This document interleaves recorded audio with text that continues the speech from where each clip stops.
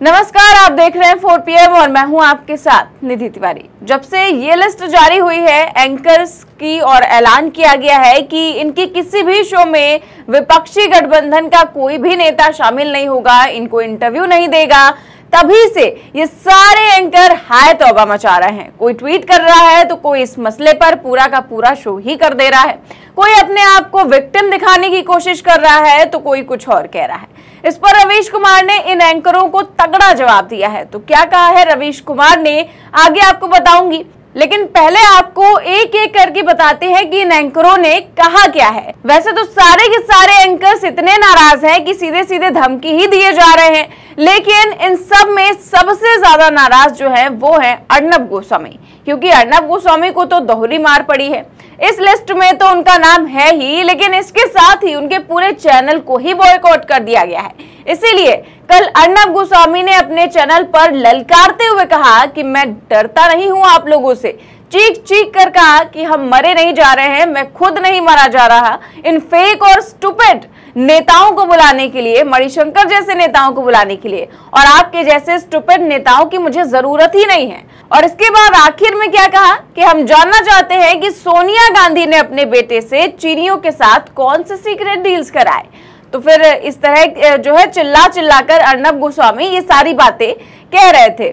तो अर्नब गोस्वामी की बात अब आती है सुधीर चौधरी पर। तो इन्होंने भी अपना शो इसी मुद्दे पर किया। और इन्होंने तो अपने शो की शुरुआत जो है उस गाने से की। जो कि, जो था कि जो तुमको हो पसंद वही बात कहेंगे, तुम दिन को अगर रात कहो तो रात कहेंगे। इसी गाने के साथ इन्होंने अपनी शुरुआत की और इनका कहना है कि विपक्ष चाहता है कि उनसे वही सवाल किए जाएँ जो ये नेता खुद सुनना चाहते हैं हमसे। और आज़ाद भारत के इतिहास में ऐसा पहली बार हुआ है, इस तरह से जो लोकतंत्र पर प्रहार किया गया है। इसके ये सब तो उन्होंने अपने शो में किया और फिर ट्वीट करते हुए क्या लिखा वो भी देखिए। ट्वीट कर लिखा कि इंडिया गठबंधन के सामने जो पत्रकार और न्यूज़ एंकर डटकर खड़े रहे, जिन्होंने चरण चुंबक बनने से इनकार कर दिया। अब उनका बहिष्कार होगा। लगभग आधे भारत में इस गठबंधन की सरकारें हैं। जब लालच पुरस्कार और एफआईआर भी काम नहीं आए तो अब बहिष्कार। भारत के मीडिया को अब पूरी ताकत और एकता के साथ इसका जवाब देना चाहिए।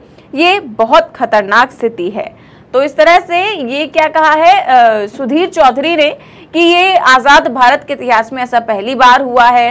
और ये भी कह रहे हैं कि हमने चरण चुंबक बनने से इनकार कर दिया, इसलिए हमारा बहिष्कार हो रहा है। बल्कि असल में ये चरण चुंबक है, इसलिए इनका बहिष्कार हो रहा है। ये कह रहे हैं कि आधे भारत में गठबंधन की सरकारें हैं, ठीक है, आप उनसे सवाल कर रहे हैं। लेकिन जब पूरे देश में जो है केंद्र में बीजेपी की सरकार है तो उससे कब सवाल करेंगे? ये भी एक पूछने वाली बात है, फ़िलहाल ये सब तो कुछ समझने वाले नहीं है। अब आते हैं अमन चोपड़ा पर। तो अमन चोपड़ा वही हैं जो सबसे ज़्यादा नफरत फैलाते हैं। कई बार इनके शोज़ को लेकर सुप्रीम कोर्ट फटकार लगा चुका है। कई बार इन पर एफआईआर भी हो चुकी है, लेकिन ये लोग सुधरने का नाम नहीं लेते। और कुछ इस तरह से इन्होंने अपने शो की शुरुआत की है, अपने मुँह पर उंगली रखकर। और इनका कहना है कि शायद विपक्ष ऐसा ही हमें देखना चाहता है कि हम मुँह पर उंगली रखकर ही काम करें और कड़वे सवाल ना करें।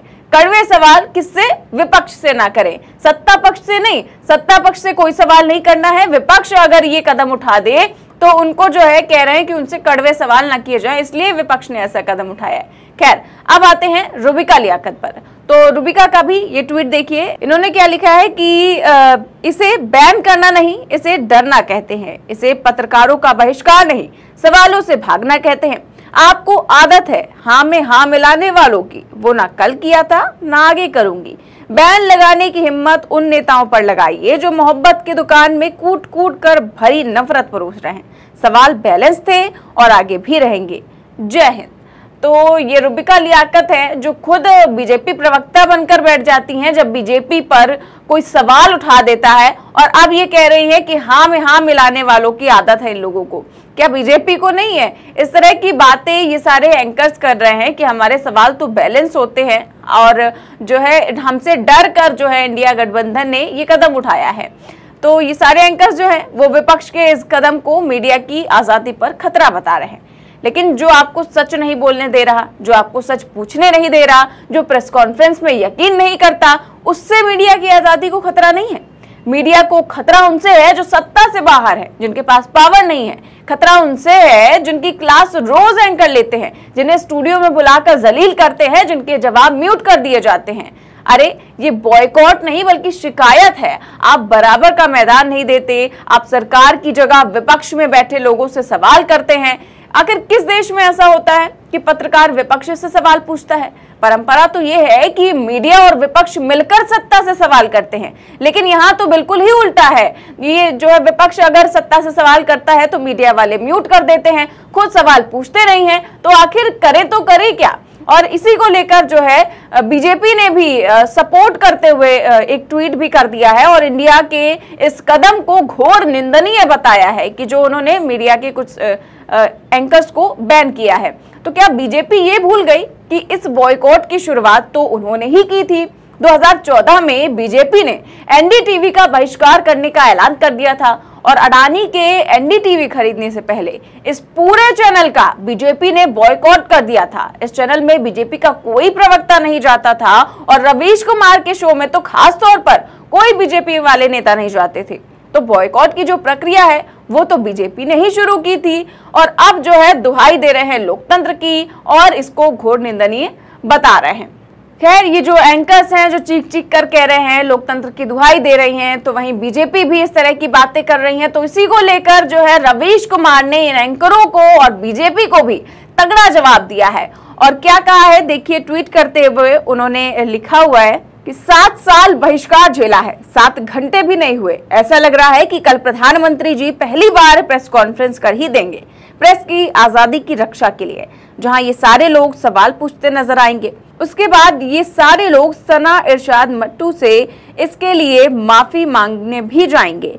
फ़ोटो पत्रकार दानिश सिद्दीकी के मारे जाने के बाद दो शब्द नहीं कहा गया। किसने नहीं कहा? क्या आप उनका नाम जानते हैं?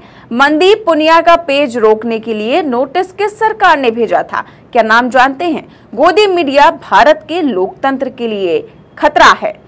विपक्ष को अपनी हर रैली में जनता को बताना चाहिए कि अगर वो ये काम नहीं करता है तो लोकतंत्र के भविष्य को लेकर गंभीर नहीं है। तो रवीश कुमार ये सवाल उठा रहे हैं कि जब, जो सरकार है, वो खुद मीडिया को नीचे दिखाने का काम करती है, तमाम पत्रकारों को जेल भेजने का काम करती है, उन पर केस करती है, तमाम पत्रकार ऐसे हमने देखे हैं। तो इसको लेकर रवीश कुमार कह रहे हैं, तब तो ये एंकर कुछ भी नहीं बोलते। अब खुद पर बैन लग गया है तो खाली लोकतंत्र की दुहाई दे रहे हैं। और ये सारे एंकर खुद को बड़ा ही बहादुर बता रहे हैं कि हमने तो बहुत ही बहादुरी वाला काम किया है, इसीलिए हमें बैन किया गया है। लेकिन हमने तो ये सुना था कि सत्ता पक्ष से सवाल करने वालों को बहादुर कहते हैं। पर ये लोग तो विपक्ष से सवाल करने पर खुद को बहादुर बता रहे हैं। बताइए, इस तरह से चीख चिल्ला रहे हैं कि पूछिए ही मत। खैर, आपकी इस खबर पर क्या रहा है? हमें कमेंट बॉक्स में ज़रूर बताएँ। देश और दुनिया की तमाम बड़ी खबरें जानने के लिए देखते रहिए। Four P M news network. नमस्कार।